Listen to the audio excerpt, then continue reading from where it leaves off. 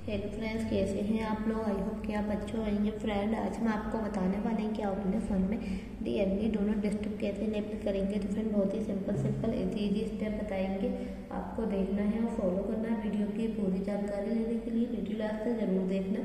अगर फ्रेंड आपने हमारे चैनल को सब्सक्राइब नहीं किया है तो बेल आइकन दबाइए चैनल को सब्सक्राइब कीजिए। फ्रेंड आपको ऑप्शन देखने को मिलता है फ़ोन में। सेटिंग सेटिंग को ओपन करना है। ओपन करने के बाद प्रकार का इंटरफेस ओपन हो जाएगा यहाँ आपको ऑप्शन देखने को मिलेगा फ़ोन में। यहाँ से आपको ऑप्शन देखने को मिलता है फ़ोन में साउंड आपको साउंड के ऑप्शन पे क्लिक कर लेना। साउंड पे क्लिक करेंगे साउंड पे क्लिक करने के बाद में यहाँ पर आपको काफ़ी ऑप्शन देखने को मिल जाता है तो यहाँ आपको ऑप्शन देखने को मिलेगा फ़ोन में। आपको सबसे ऊपर देखने को मिलता है डोनट डिस्टर्ब तो आपको अपने फ़ोन में डोनट डिस्टर्ब इनेबल करने के लिए आपको यहाँ पर सेलेक्ट कर लेना। सेलेक्ट करने के बाद में इस ऑप्शन को आप यहाँ से जब ऑन करेंगे तो आपके फ़ोन में डी एन डी जैसे कि आपके फ़ोन में कोई भी व्यक्ति कॉल करेगा तो उसकी तरफ़ से बराबर घंटी बजेगी।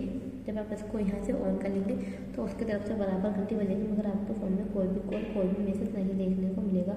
तो इस प्रकार आप अपने फ़ोन में D N D do disturb enable कर सकते हैं। तो अगर फ्रेंड आपको हमारी वीडियो अच्छी लगी हो गाइस तो वीडियो को शेयर करें लाइक करें। चैनल पर नए हो तो चैनल को सब्सक्राइब करें। मिलते हैं अगली नेक्स्ट इंटरेस्ट वीडियो में। जब तक के लिए बाय टेक केयर